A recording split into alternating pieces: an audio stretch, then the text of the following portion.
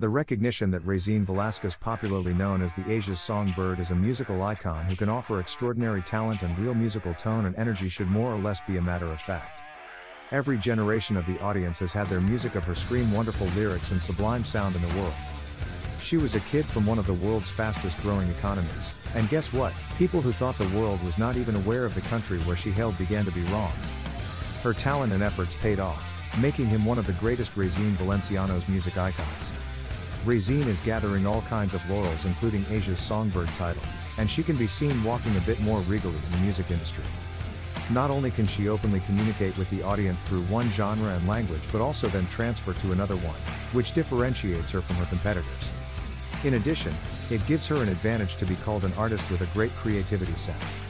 If she is playing broken heart songs or when switching to the latest pop hits with cool and lively dance moves, Regine's stage presence and vocal specialties are always great shockers to the fans in real life. For that reason, let us all come to terms with the fact that we are the bearers of rich musical heritage.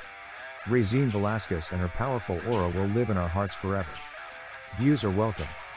Finally, additionally, do not forget to subscribe to our channel as the information on different artists is constantly being updated.